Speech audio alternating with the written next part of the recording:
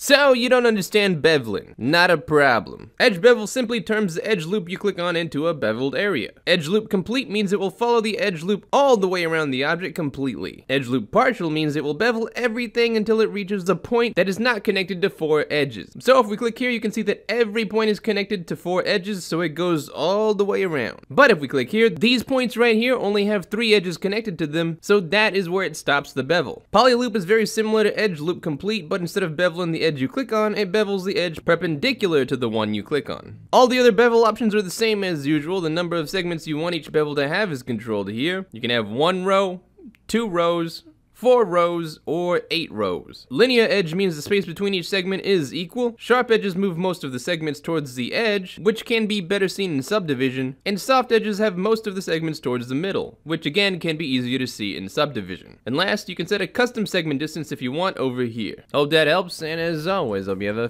fantastic day, and I'll see you around.